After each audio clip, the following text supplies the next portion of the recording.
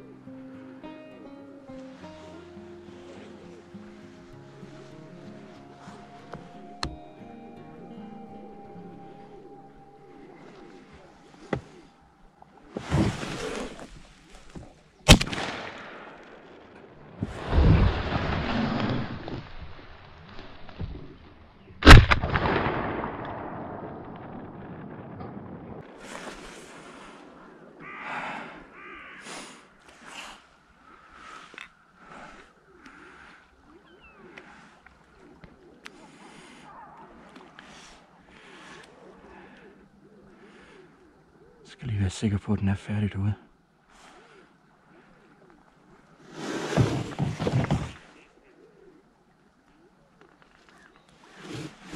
Kommer den tilbage den anden?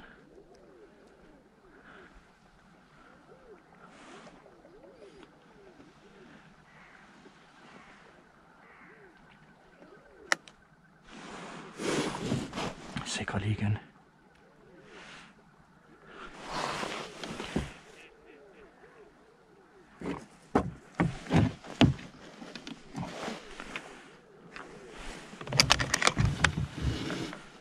Jeg skal lige se, hvad nummer to der gør.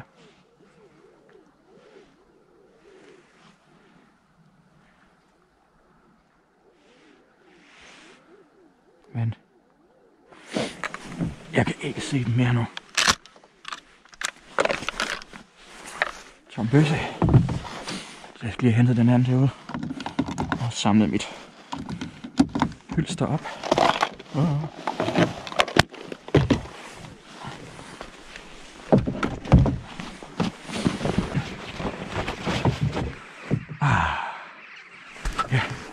Lad os komme ud og få hentet den. Ah. Den er- Ah. Det var fandme fint. Det har godt nok været en lidt stille morgen. Der er ikke sket så meget herude. Men som I kan se, prøv lige at se det vejr her. Super fint, næsten havblik. Ikke en vind, der rører sig. Jeg havde lige de første på hænder. Jeg hørte sådan lige henne til venstre for mig. Kort efter det var, jeg havde, øh, havde sat mig i prammen, havde fået lagt lokkerne ud, sat mig i prammen og hørte de ender derinde, som så desværre øh, lettede og trak længere væk. Jeg skal lige huske at hylse med. Der. Så jeg har haft nogle enkelte andre, hvad hedder det, flokke af ender, som har været ind over mig, men de er kommet alt for højt. Altså slet ikke noget, jeg i nærheden af, der kunne skydes på. Har set et øh, par enkelte vinerne også, som har ligget og trukket, øh, og trukket, trukket rundt herude. Jeg har lige en lille flok af en øh, fem styks vinander liggende derude på højrefløjen. Havde en enkelt, der kommer landet sådan lige i øh, yderkanten af dem. Men øh, ude foran der og så ind til prammen, der er i hvert fald 40-45 meter. Så det var for langt til, at der kunne skydes på den. Og den valgte ikke at komme længere ind, den valgte at, at svømme længere ud af. Men så kom der lige de to ender her før. Og jeg er faktisk ikke helt sikker på, at det er gråænder. Jeg så dem jo ikke rigtig sådan, øh, tæt på. De landede jo et stykke herude. 60-70 meter væk, vil jeg tro. Landede herude svømmede lidt tættere på, trak sig faktisk øh, væk igen, kaldte det til dem med lokkekald, og så begyndte de lige så stille og roligt at svømme tættere på her.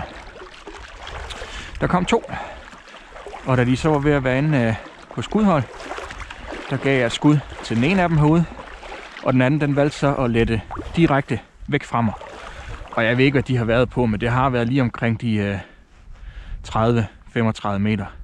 Jeg har cirka 30 skridt ud til øh, spidsen af lokkeren der, og de var sådan lige herude foran dem, så det har været sådan lige omkring de der 30-35 meter. Fint skud. Den første herude, den lå død i skraldet. Den kom ikke øh, længere end til vandet. Og den anden, den lettede sig direkte væk fra mig. Så sådan skud til en anden, der i forvejen er sådan lige på grænsen af, hvor man gerne vil skyde, og flyver direkte væk, sådan at den har, øh, den har røven imod dig. Og så et skud i bøssen.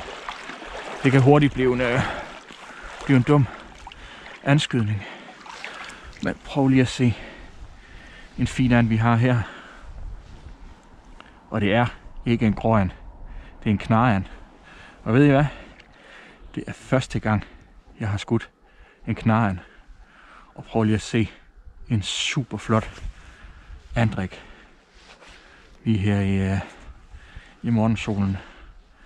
Han er godt nok fin. Godt nok fin. Det tror jeg, uden at lyve, er en af de pæneste ender, jeg nogensinde har skudt. Ej, hvor er han fin og tæt i fjerne. En skam, det koster en formue, ellers var det her en uh, fin og flot an at få udstoppet. Men uh, jeg tror altså, han skal med hjem på køkkenbordet i stedet for. Men super spændende jagt. Der er jo nogen, der vil sige, at det, at det er lidt uetisk, eller lidt usportsligt, at skyde dem, mens de ligger på vandet. Jeg synes, sådan en situation her, og jeg har sådan set nævnt det før, for jeg har gjort det før også, hvor enderne, de lander et pænt stykke væk, eller ligger længere ned ad kysten. De lige så stille trækker tættere på, man får dem lokket til med kaldet. De bliver øh, lokket ind imellem lokkerne og sådan noget, der ligger her. Jeg synes, det er super spændende jagt, for der er jo altså bare ingen garanti for, at I kommer tæt nok på, til man kan skyde til dem. De her, de var sådan set ved at svømme lige så stille væk igen. Men øh, lokkekaldet her, det var nok til, at de begyndte at vende rundt, og lige så stille, øh, lige så stille trække tættere på. Og så fik jeg skud til den ene her. Fordelen ved så at skyde dem på vandet, det er, at man får ikke skudt brystkød og sådan noget i stykker.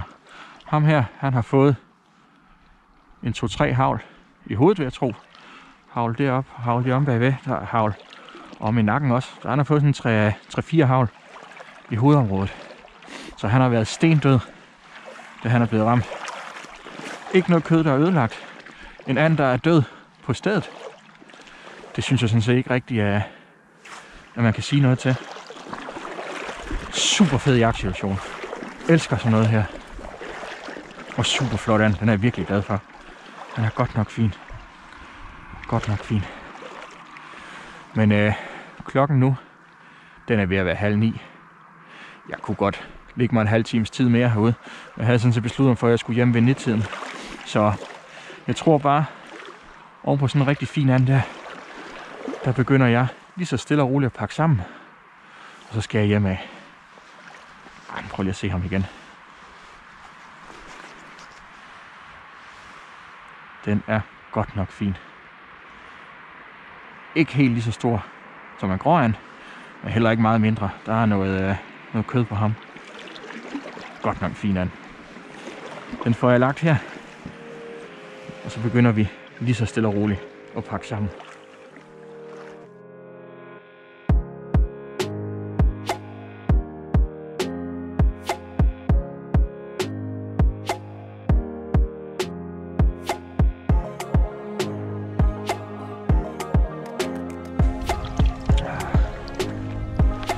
Tror jeg altså også bare selv på, med sådan en øh, jagtsituation, som den jeg har haft her til morgen, hvor det er, jeg skal lokke øh, tættere på, ind imellem lokkerne. Altså ikke hvor de kommer fra luften, og bare skal slå på dem. Men det lige så stille, kommer længere ind, ligger og laver lidt lyd med kaldet, prøver på at få det hele til at være så livagtigt, og være så naturtro som muligt. Der tror jeg altså på, at det gør en forskel. At det ikke er de helt billige lokker, man har, men at det lige ser en lille smule mere livagtigt ud af hele. Og det kan jeg selvfølgelig også bare være, at det er en undskyldning, jeg finder på, for at retfærdiggøre. Jeg har brugt alt for mange penge på at købe lokænder.